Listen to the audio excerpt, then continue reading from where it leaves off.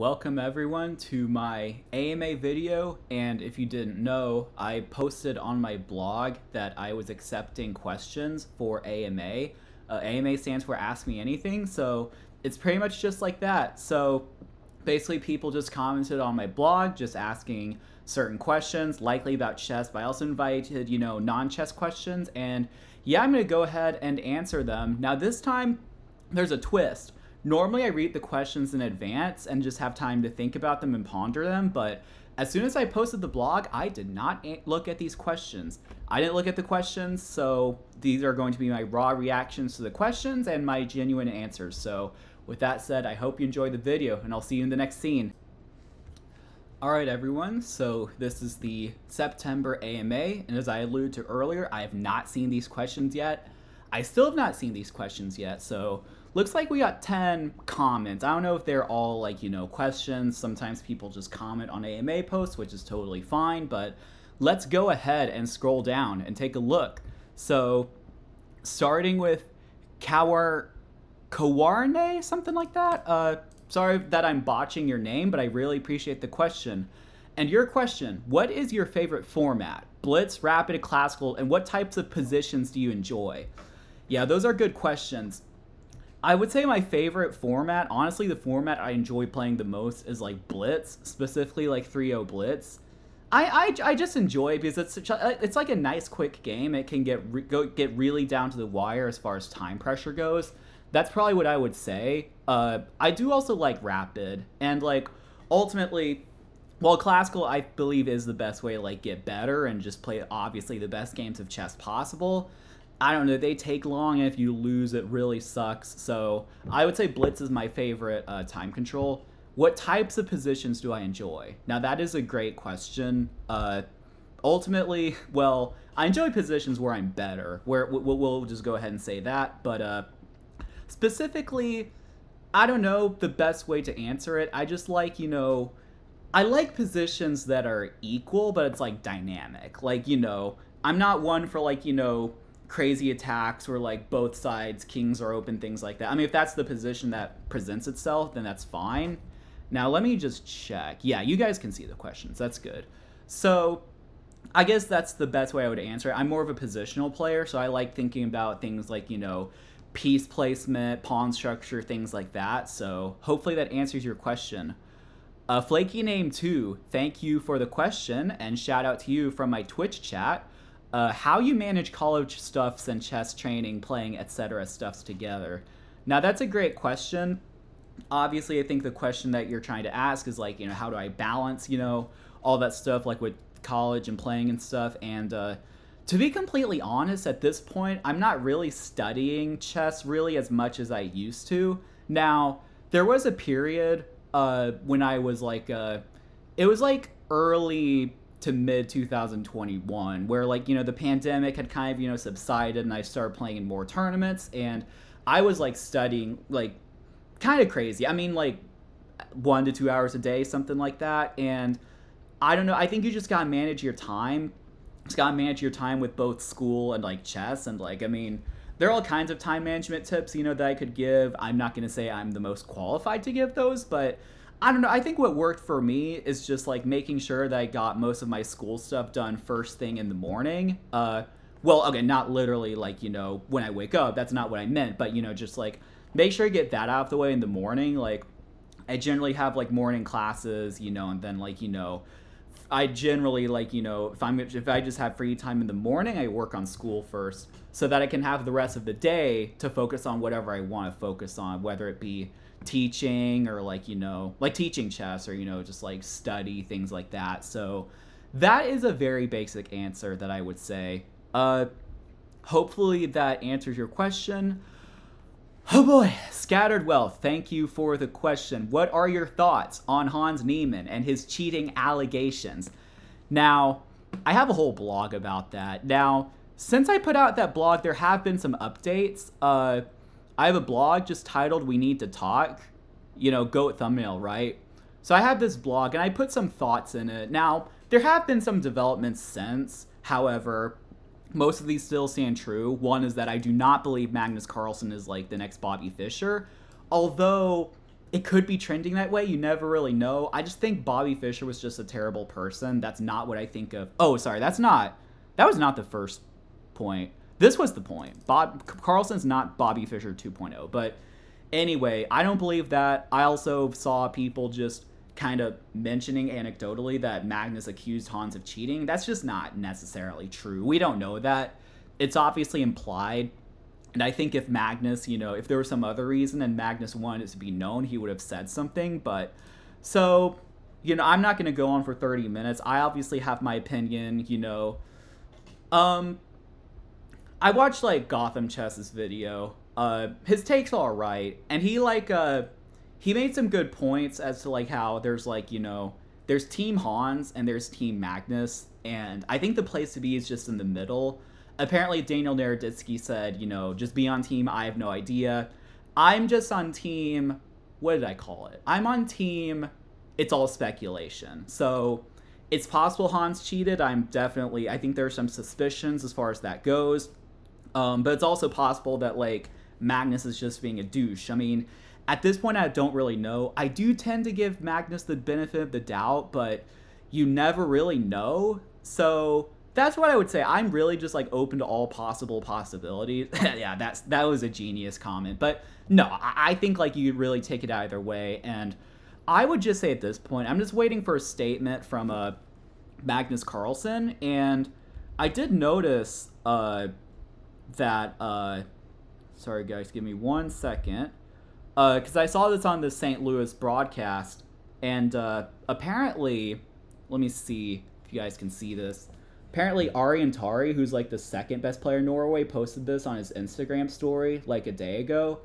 I'm assuming that was a recent photo. It could have been the past before this. I mean, I assume it had Magnus's blessing. I mean, really, who knows? I mean, my bold prediction is that we're all gonna look back and we're gonna feel stupid about like calling Magnus unprofessional or whatnot. My guess is that's gonna be something completely unrelated. It could be like well, for his case, I hope it's not. But it could be like a family emergency, and he just can't talk about it. It could be like you know, I don't know. Well, he did say it didn't have anything to do with the St. Louis Chess Club. He he said that he hopes to be back. So I think we're all assuming that he thinks Hans cheated, and maybe that's just not the case. You you never really know.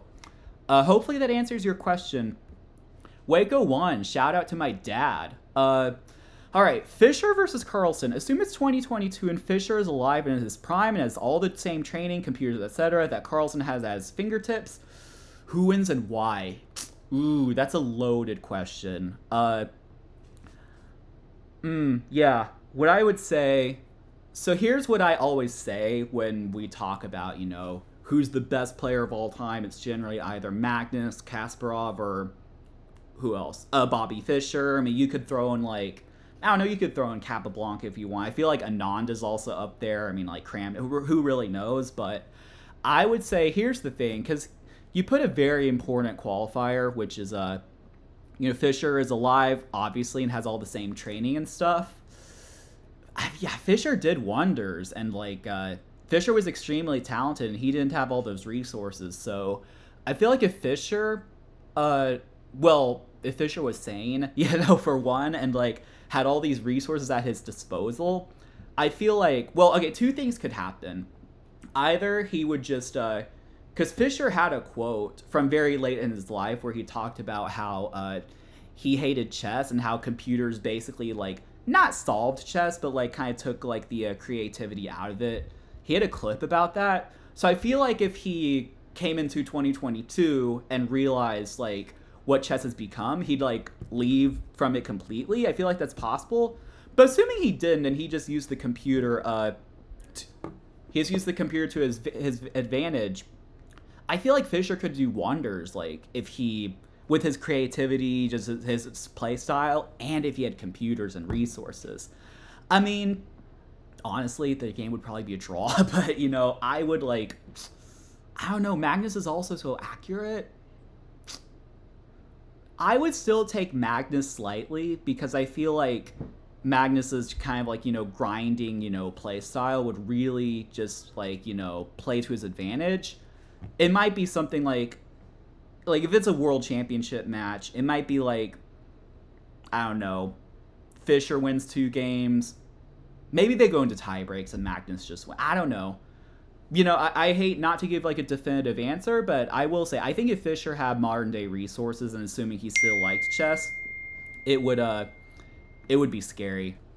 All right, great question though. All right. Spickwick, thank you for the question. Uh could you beat your mom? Now, I hope and assume that you're talking about chess, which in chess I could beat I could beat my mom. Yeah. Why is RAR bad? I don't know. Is that a rhetorical question? I don't really have anything against the RAR movement. Uh I don't know. I'm not the question I'm not the person to ask. Uh okay. Vern, nine. Thanks for the question. What color are your socks? Now, the vast majority of my socks, they're either white or black. And if I had the choice, I just wear black socks. I only wear white socks if I'm like literally out of them. Uh, I also have these random like uh, I think it's like uh, what's the cartoon? It's like Looney Tunes. I'm pretty sure. Uh, I have those random socks. Uh, I was going to like you know uh, give them out for like a white elephant. That's actually why I bought them. And it turns out I just couldn't make it, and then like you know so I just kind of kept them. And they're different colors, like red, like brown, you know. Uh, there's like one that's Bugs Bunny that's like gray, I think. So uh, to answer your question, the majority of the, of the socks you're going to catch me wearing are black. Uh, all right. Yawn Pawn. Uh, thanks for the question. What do you enjoy most about the game of chess? Uh, it's a great question. I think what I enjoy most is just like the unlimited ideas there are. This is what I'd say. I mean, opening, middle game, end game, chess is just unlimited. Uh, all right. Uh, Nozman, I don't know how you pronounce the NGO, but thank you for the question. Would you rather play several games full of blunders but still win the tournament, or play lots of exciting games but eventually lose? Hmm, that's a great question it might depend like circumstantially. Like if you're talking about win the tournament and the prize fund is like five thousand dollars, then like I'm I'm gonna like win the freaking tournament. It doesn't really matter. Uh, I would say ultimately. Mm, I, I generally believe that like the most important thing to do in chess is just win. Now, obviously, you want to like play well, and there are instances where you like play terribly, and then like you know you get lucky on one move. Like you don't want that to happen, but I really think that like uh, whichever option consists of winning, which would be this one, then I would probably say that. Uh, though you could also make an argument for like playing exciting game. I don't know. I, I think I think it's just like I think as long as I win, then like you know, it's all good. It's obviously circumstantial, but all right. SN Chen, do you think you can hit GM? No, but thanks for the question. Uh, fire. Have you seen this puzzle before and can you solve it first try? I have seen that puzzle. Let me just check and make sure that I know exactly what I'm doing. So it's white to play and draw. Okay, yeah, it says it here because uh, ultimately they can just go after your pawn. So I know the first move is king g7. I know that for a fact. Uh, it's king g7. So the idea is it looks impossible to catch the h pawn. It looks impossible to catch the h pawn and queen the c pawn, but there's a key maneuver, and I'm trying to make sure. I have seen this puzzle. I just need to make sure I know it. So, king f6, pawn pushes. Then I believe you go king e7, pawn pushes to h2. Then you push the c pawn because if they queen, you queen with check. And if they go king b7, you go king d7. And then Right, their pawn's an h2, so they make a queen, but you make a queen. All right, so it's king f6.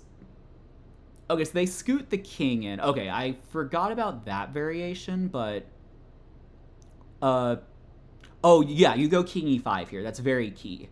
Because if they push, then you go king d6. They'll probably show that variation. And if they take the pawn, you just go king f4. Yep. Oh, they just have you taking the pawn. But yeah, if they had a... I guess I'll go back later. Yeah, just catch the pawn.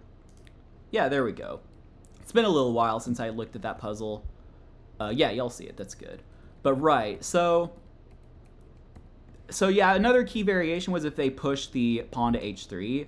Uh, I'll show it here. Yeah, so key variation is uh, if they push the pawn to h3, you have this move king d6. And what's fascinating is that you're either queening at the same time or you're queening with check. So that's why that puzzle is key. Uh, so to answer your question, Fire, yes, I do know that puzzle, and uh, I have, uh, and I solved it, you know, first try. So, all right, well, thank you all for the great questions. I really enjoyed uh, reading them, and uh, yeah, I will see you all for the next video. So just uh, take care and have a great rest of your day.